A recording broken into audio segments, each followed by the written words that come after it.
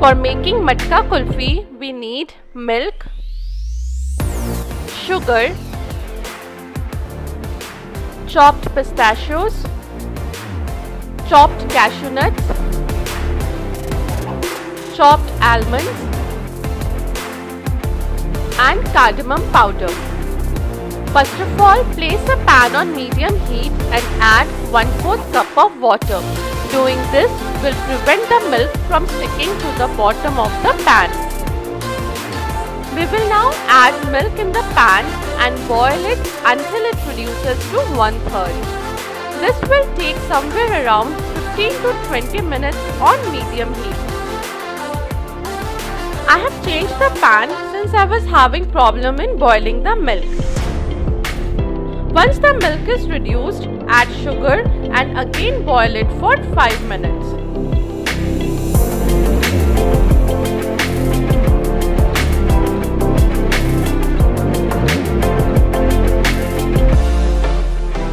We will now add the cardamom powder. Scrape the sides of the pan because it's that solidified milk which increases the texture and taste of the kulfi.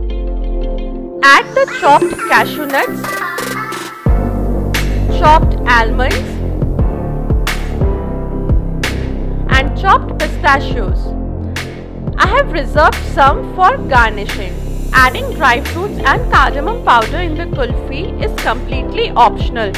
You can make the kulfi with only milk and sugar. Our milk is reduced enough and it's time to switch off the flame.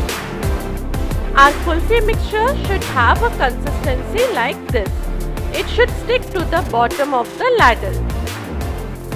Allow this mixture to cool down at room temperature.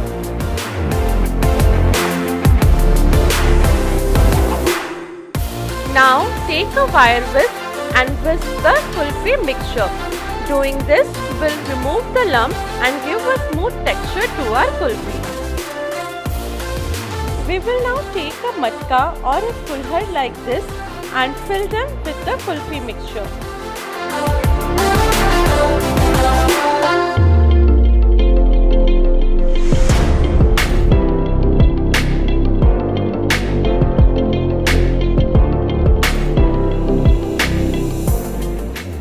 We will now garnish our kulfis with some chopped almonds and pistachios.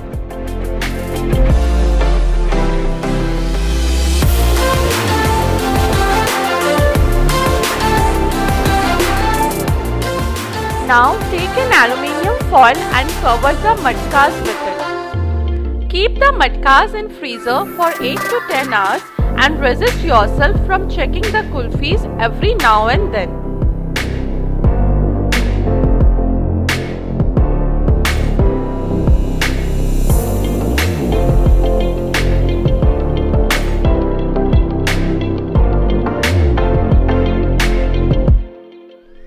We will now uncover the foil and check the kulfis. They look completely set now.